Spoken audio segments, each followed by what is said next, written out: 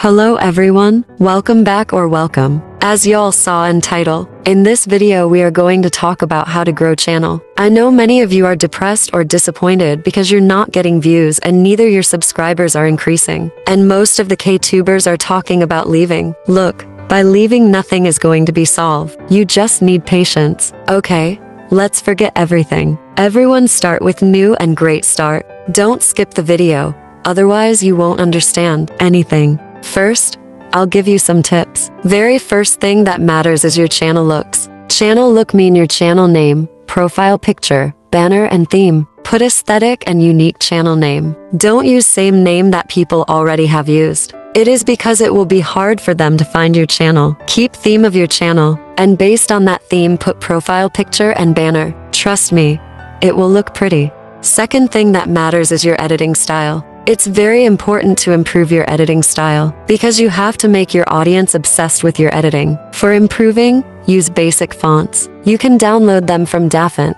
I'll suggest you to use Cocogoose, Lemon Milk, Mont, the next font and many more. Don't use handwriting fonts. If you're making K-pop informative videos, then highlight the words with different color. Watch tutorials on YouTube if you want to upload edits. First make edits by watching tutorials, then make it by yourself. Use sped up or slowed plus reverb songs. Yeah, you read it right. Your behavior matters. Be kind and humble with your audience. Don't be rude. Talk them in polite manners. You lose your audience if you talk with them while being rude. Now, I'll tell you some extra tips. Make friends on YouTube. They may sub your channel. Don't comment like new subby and you new subby. Hope same it's like forcing them to sub you. YouTube may delete your channel if you keep spamming this shit everywhere. Support your KTuber friends. They will support you back. Upload the video on correct time. Go to the analytics in YouTube Studio and go to audience. You'll find this type of chart. Upload the video according to your chart. But this type of chart is only available for the people who has 600 plus subscribers. If you don't have this chart then, it's totally okay. The best time to upload video is 12 p.m. or 6 p.m. Now let's move to the tricks.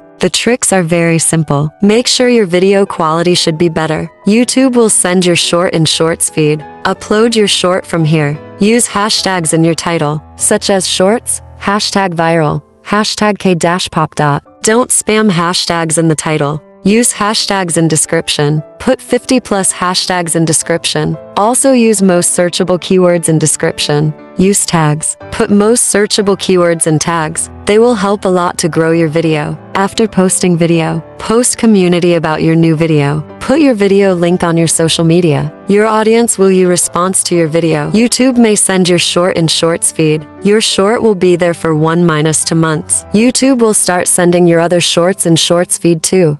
So these were some tips and tricks to grow your channel. I know many of you are watching who want to start their channel. I want to say just upload video without any hesitation. Everyone, my wishes are always with you. Keep uploading and keep growing.